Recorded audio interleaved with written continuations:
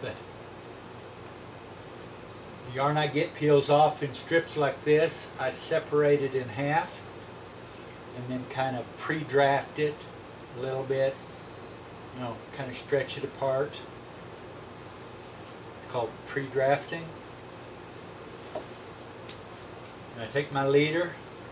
I've already adjusted the scotch tension.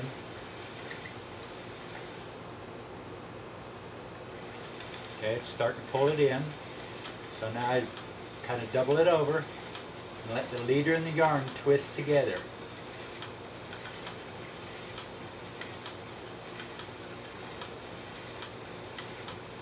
Then as I start getting into the yarn, I have a triangle of yarn forming here where we're drafting. And you can control the thickness of the yarn by how much yarn you're allowing to come out.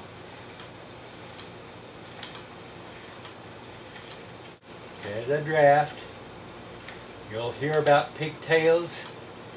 You get them when you hold on to the yarn too long and it starts over twisting.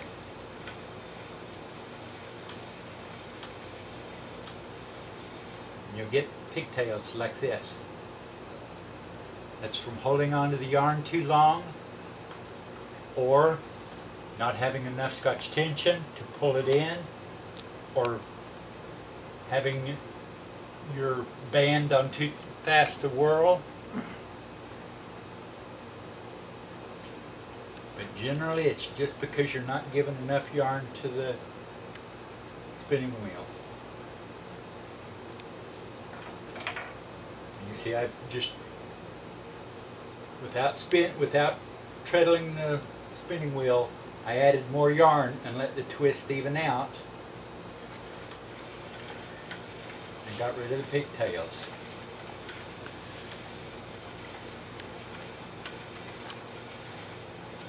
If you treadle too fast you'll get pigtails. It's all a balancing act of feeding the yarn into the machine at the speed to take it.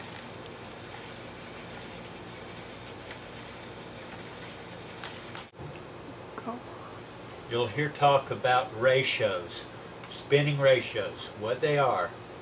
It's the relationship of how many times the wheel, how many times the flyer goes around for every single time the wheel goes around. I'm on a 6 to 1 ratio groove here, so one revolution of the drive wheel will make the flyer spin six times. That's what puts a certain amount of twist in the yarn and how much you feed will control how many twists per inch. So if you feed one inch of yarn every revolution of the main wheel, you'll you will have a six in, six twists per inch yarn. But the ratios is how many times the flyer goes around for every single time the wheel goes around. Slower ratios are good for thicker, bulkier yarn. Very fast ratios are good for short fiber like cotton. You would want a very high ratio because it needs lots of twist.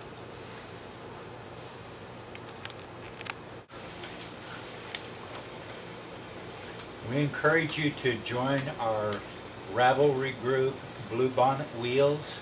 We have 200 and, over 250 members. They have a wealth of information that they're willing to share about spinning and the various techniques and common problems that beginners encounter. Plus on YouTube there are literally hundreds of videos made by different people using all types of spinning wheels that is a valuable source of information on how to spin. And we do encourage you to seek out a friend or teacher to help you accomplish this task. Learning to spin is a craft that must be learned and therefore it takes patience.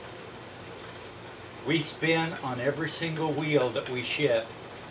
You will get your wheel and it will have a small amount of spun fiber on it. That ensures to us that your spinning wheel does spin trouble free. When you get your wheel, just pull the fiber off right down to the leader and you're ready to start.